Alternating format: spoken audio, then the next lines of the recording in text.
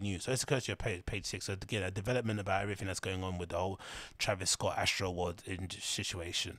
One of the big issues when you're a global megastar, right, on that kind of level of a Travis Scott, because you have to imagine, right, his albums are selling two hundred thousand units per week, you know, on average.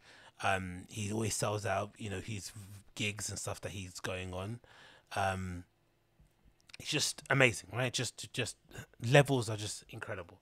One of the biggest issues with it is that when you get in trouble, the bags it affects are just otherworldly. It's not just your music; it just affects so many other bags, opportunities, and it has so many kind of um, rippling effects in terms of who it damages brand wise. That the damage is somewhat is somewhat untold, right? It's somewhat uncalculable how much it's going to cost you one kind of slip up, one faux pas, which is why a lot of these guys hire people to cover stuff up, you know, to change the narrative on stuff, to spin stuff, ignore stuff, whatever it may be, just so they can avoid these things. Because once trouble hits, it's very difficult to kind of put that shit back in the bottle. And this is a good example of it courtesy of page six, it says W Magazine trying to pull Travis Scott, Kylie Jenner cover after Astroworld. So I guess they had a cover story plan for them to maybe to tie in with the release of Utopia.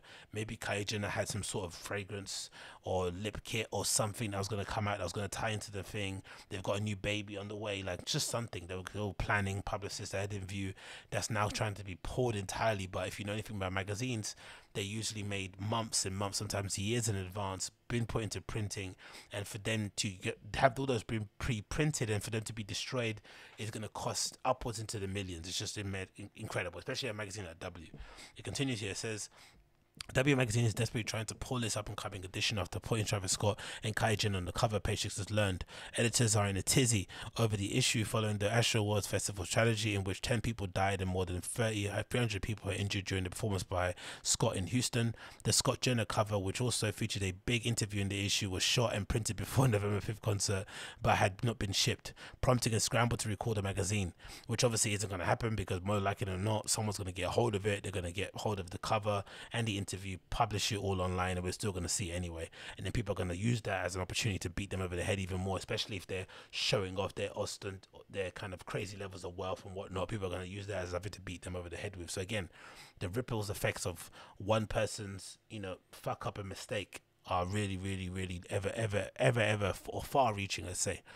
WWE declared um, yeah, the W editors have cleared any planned coverage of Travis Scott and Kylie from their website, but the magazine was already printed and now they're trying to stop the delivery trucks, one source told page six. In the light of what happened in Astroworld, the interview and cover line um, seem inappropriate to say the least.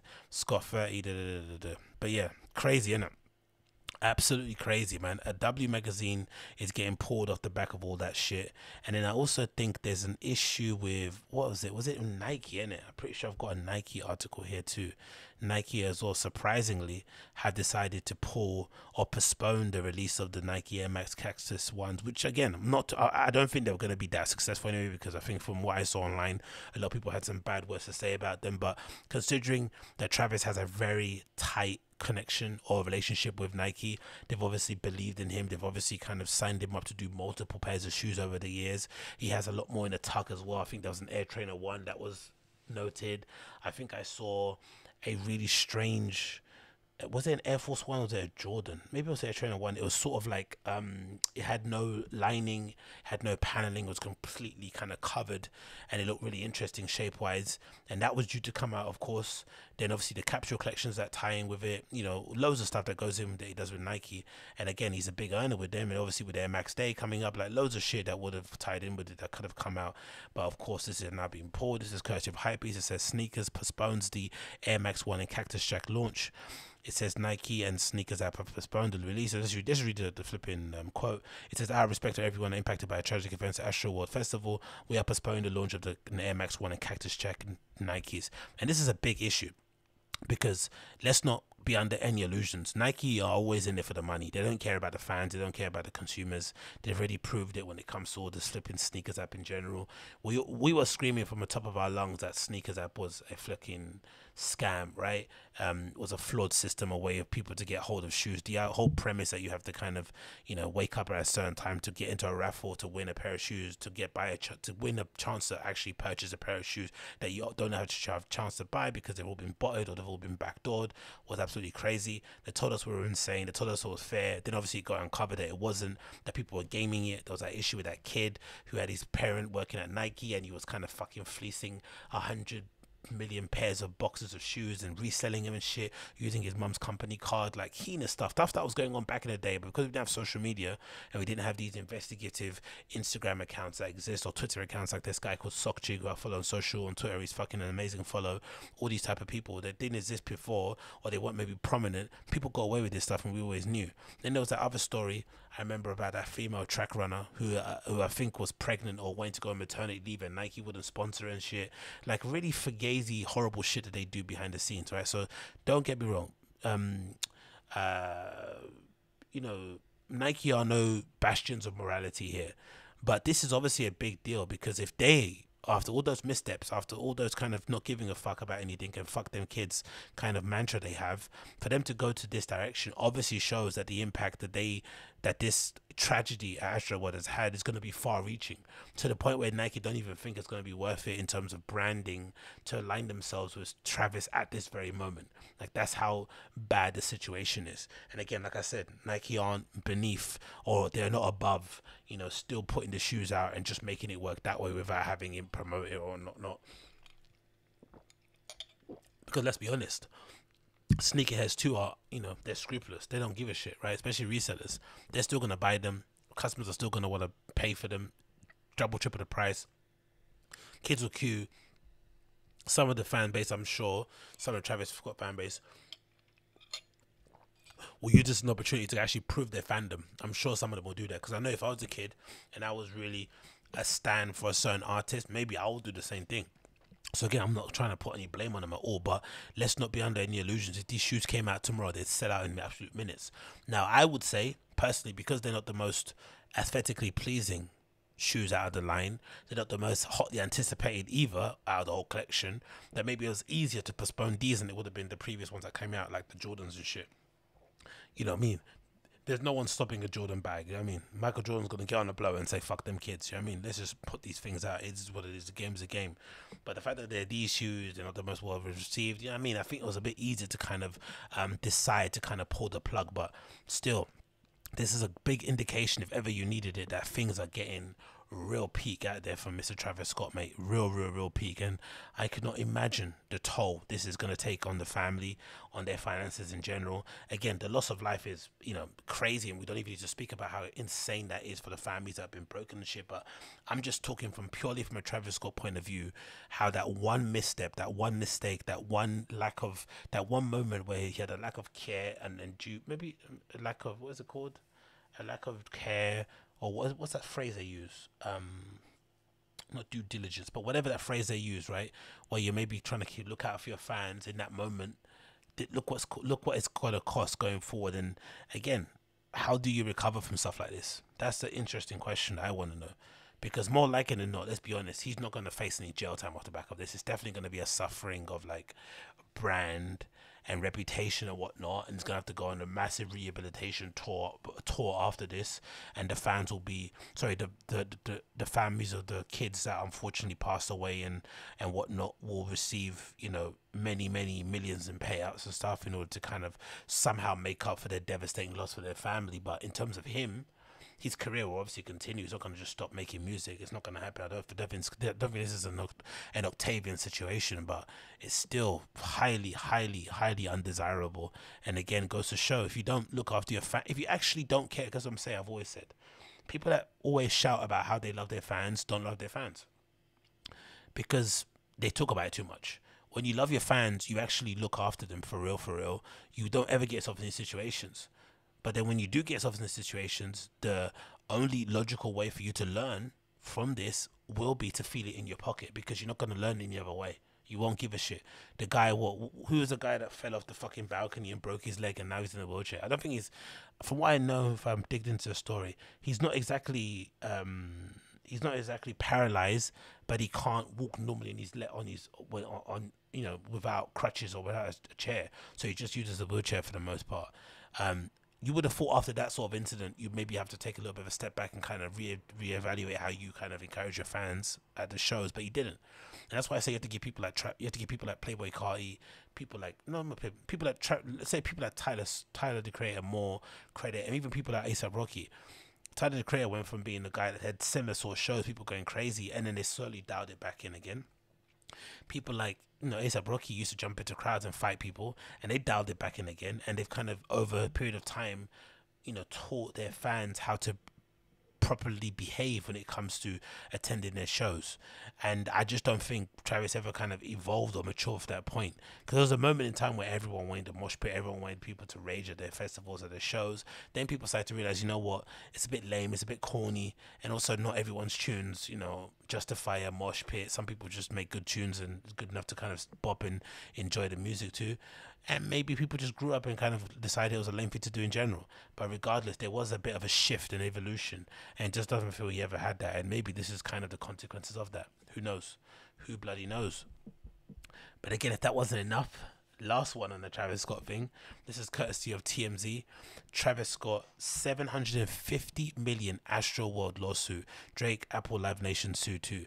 And more likely than not, you know, again, no one's going to face any prison time off the back of this, which is again is the most upsetting part of it. If you're a family a family member who's lost somebody in your family off the back of this situation, you're definitely going to be devastated, and no one's really going to face any real consequences of this, apart from monetary fines, which you know again money's going to hurt, but you can easily get that back. But people's lives can never get get taken back in that regard.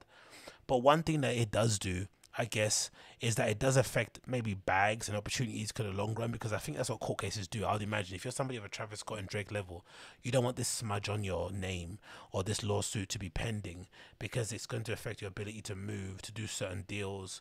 Um, certain renegotiations are going to be put on ice because people don't know where you're going to be in 18 months or not. Do you know what I mean? It's, it, it's going to have far reaching consequences that are probably going to go into the many many years as they litigate between who is to blame because no one's gonna especially when it comes to people like you know companies like live nation and apple and shit they're not gonna want to accept any kind of culpability at all in the situation. Live nation are probably in one of the t- well both of them are in a tricky situation because if if what we believe is true from what we've been reading there was an awareness or an understanding on the ground level that things were already starting to get was already starting to go a bad way before he already got on stage. And, and then 10 minutes into the show, things were already bad anyway because I think the first person passed away maybe 10 minutes into the show already. So at that point, there should have been a moment where they could have cut, cut the show. But obviously, these platforms, these live streaming platforms, they paid a lot of money. They put the thing together. They were under no circumstances going to cut the stream. It was never going to happen. It was kind of similar to like a Dana White thing. Do you know I mean? If somebody that don't get me wrong, if somebody was to pass away in the octagon, I just I don't think Dana White would ever call off a card. He's just gonna get that person out of the octagon and kind of continue it, keep it rolling. The show must go on, type of thing. So that's where I think these guys are gonna be pointing their fingers at each other, throwing each other under the bus, leaking documents and shit because they don't want to be culpable at all. You know, solely culpable anyway. They don't want to be solely culpable. But yeah, the pictures of the kids that passed away, man. Ay, ay, ay. It hurts your soul every time you see it, man. Jesus Christ. Imagine going to a Travis Scott concert and passing away. Like, that must be, that, that is a form of hell, in it? That is a form of eternal damnation. Passing away at a fucking Travis Scott concert. Like, horrible. And it continues, says here, Travis Scott, Drake, Apple, Live Nation, others will now need to answer to massive 750 million lawsuit brought against them by more than 125 fans, including the family of one who died at the festival. The suit filed by Houston attorney Tony Buzbee is the first of others to come place and blame on Travis and concert organizers for negligence in failing to properly plan the concert, train security personnel, and host the event safety. Yeah, or, or host a safe event some of the accounts from the security guards that got hired is just crazy. People were saying they were going to get paid in cash up after the uh, after the event. They weren't given proper training. They were just told to kind of go and you know sort it out. Um, just incredibly horrible. People were saying that. I think I saw a video of some girl saying that most security guards were just chilling in the crowd. Some of them took off their high vis vests or smoking and shit, hanging out. You know, whatever, doing doing doing what security festivals usually do. But when it comes to when it's a fail situation like this, these things can make it look even worse. I think off the back of this too, wasn't there an issue doesn't he also have a collection coming out with Dior, right? Doesn't Travis have like a Dior collection? I'm pretty sure he did like a collaboration with Kim Jones. Bloody hell, man! All this stuff's gonna be affected. Um, among them, I wonder if they're gonna sue as well. If that's like a breach of contract, if it can I wonder if they do those collaborations. That's the thing they're gonna do. So I wonder maybe there's multiple lawsuits coming out. Among the plaintiffs, the family of Alex Acosta, which is this kid, R.I.P. Man, Alex Acosta, 21 years old, absolute baby, um, who's allegedly crushed by the incited, unruly, and out of control crowd. Um, as for a staggering 750 million, the lawsuit claims it was covered both physical, mental, and health injuries as well as loss of life. Buzbee says no amount of money will ever come um, to plaintiffs and whole. No amount of money can ever restore human life, but the damages sought in the cases in the attempt to fix and make up the plaintiffs nothing more and nothing less. Travis and Live Nation offered refunds almost immediately. Consequence of the lawsuit addresses that offering, calling it a transparent and grotesque effort to defendants to limit their liability after the fact. Supposedly, I heard that if you accept the refunds, that kind of limits or kind of nulls your ability to kind of sue which is a real slimy, scummy thing to do. On top of that BetterHelp thing that he was offering, you know, people that attended the concert like a free month or three years of BetterHelp. Again, I don't think that was as scummy and as gross as that was. I think that was mostly done when they didn't know how grave the situation was. I think a lot of them or whoever it may be in his team was still under the assumption that maybe, or they were hoping that it was kind of pills thing, like a fentanyl issue where people pass away, so then you weren't culpable. But when obviously it came out that obviously most of the kids, from what we've seen so far, again, no autopsy has been done, but from what we can see, most of the kids have passed away due to the negligence and the poor organization and being kind of, you know, essentially squashed and suffocated in those crowds is what led them to pass away. You know, offering people a month free on BetterHelp and using the code Travis or whatnot. It's just you know it just doesn't sit right.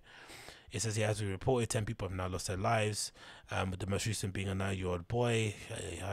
Law enforcement continues to investigate what caused the death, but those in the audience say a crowd crushed, trampled, and suffocated fans. Sources close to Travis have maintained he did not realize the severity of what was happening in the crowd while he performed. Photos of the cops taking photos and watching the Travis show.